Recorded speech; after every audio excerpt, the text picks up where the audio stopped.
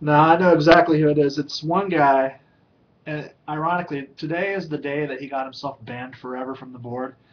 But he still tries to come back, and he still tries to get attention. And I don't know what the dude's problem is. And he always sends me IMs, and then he pretends to be other people and sends me IMs. But anyway, that's you know he's probably really excited that I'm talking about him too.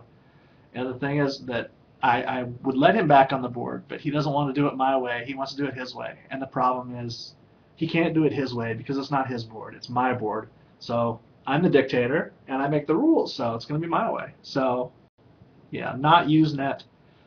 Too young for Usenet. But he would have been a good Endless September kind of guy 15 years ago. But he's barely 15 now, I think. So just one hose bag and Usually I ignore his questions, but I just felt like answering them all today for some reason. So I hope that at least entertained you, Killfile.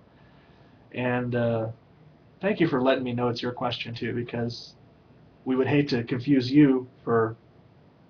Not that that's possible, because you actually know how to type. So anyway, thanks, Killfile.